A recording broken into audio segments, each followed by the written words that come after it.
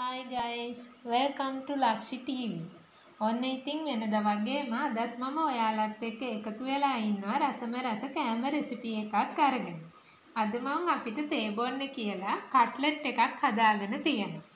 මේක ගෙදර තියෙන අමුද්‍රව්‍ය ಜಾති තුනකින් තමයි හදාගෙන තියෙන්නේ. ගොඩක් ලේසියෙන් ඉක්මනට අපිට හදාගන්න පුළුවන්. ඉතින් මම කැමති ඔයාලත් එක්ක මේ වීඩියෝ එක ෂෙයා කරගන්න. එහෙනම් අපි යමු දැන් වීඩියෝ එකට. මම මේ කට්ලට් එක හදාගන්න මොනවද ගත්තේ? කොහොමද හදාගන්නේ එක හදාගන්න අපිට ඕනි වෙනවා. බීලුණු අල පාන් පිටි. මෙතෙන්දි මම බීලුණු අරන් තියෙන්නේ ග්‍රේට් කරගෙන. ග්‍රේටරේ ලොකු පැත්තෙන් ග්‍රේට් කරගෙන අරගන්න. අලත් ඒ විදිහටම ග්‍රේට් කරගෙන තමයි අරන් තියෙන්නේ. අලවල කහට ගතිය වැඩි හින්දා විනාඩි 10ක් විතර වතුරේ දාලා පෙඟෙන්න ඇරලා හිටන් ඔගොල්ලෝ වතුර බේරලා අරන් මෙන්න මේ විදිහට පිරිසිදු රෙදි කෑල්ලකට දාලා ඉතුරු වතුර ටිකත් පෙරා ගන්න ඕනි. මෙන්න මේ විදිහට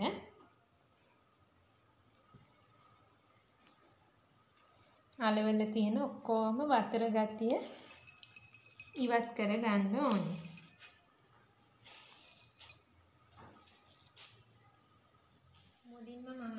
විදිහට බෝල් එකක් අරගෙන ඒකට අපි හදාගත්තු අල ටික මෙහෙම දාගන්නවා.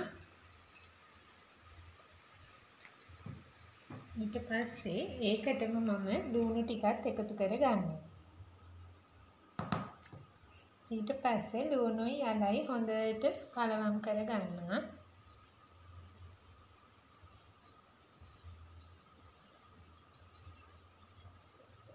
මේකට කෑලි මිරිස් ටිකක්. කෑලි මිරිස් ටිකක් එකතු කරගන්න. ඔයාලගේ රස අනුව සැර කැමති නම් ටිකක් වැඩිපුර එකතු කරගන්න. ටිකක් එකතු කරගන්න. දුමි ටිකක් එකතු කරගන්න.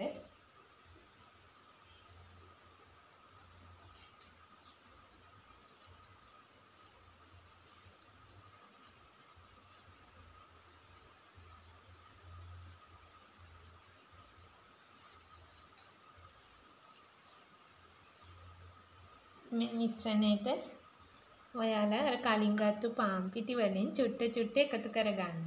මේ පාන් පිටි එකපාර එකතු කරගන්න එපා. ටික ටික දාලා බලන්න අතින් බෝල හදාගන්න පුළුවන් මට්ටමට එනකන් පාන් පිටි එකතු කරගන්න පාන් පිටි වැඩි කරගන්න එපා. බෝල හදන්න පුළුවන්ද කියලා පදම බල බල ඔයගොල්ලෝ පාන් පිටි එකතු කරගන්න. මගේ මිශ්‍රණය දැන් හරි. මේකෙන් බෝල හදාගන්න පුළුවන්.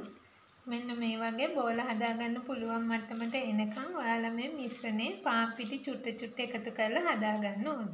මෙන්න මේ විදිහට මිශ්‍රණයෙන් ඔයාලා ගුලි ටිකක් හදාගන්න ඕනි. ඊට පස්සේ අපිට දැන් තියෙන්නේ ගැඹුරු තෙලේ මේ ටික බෙදගන්න. ඔයාලා තෙල් ටිකක් රත් වෙන්න තියලා ගැඹුරු තෙලේ මේ ටික රන්වන් පාට වෙනකම් බෙදගන්න ඕනේ. ඔයාලට කියන්න බැරි වුණා කෑලි මිරිස් විතරක් නෙමෙයි මේකට ඔයාලා කැමති නම් රම්ප කරපිංච වුණත් හීනියට ලියලා මේකට එකතු කරගන්න පුළුවන්. ඒ නැතත් ඉතින් මේ ටික විතරක් වුණත් මේ මිශ්‍රණයට ඇති. එහෙනම් අපි මේ ටික බෙදගමු.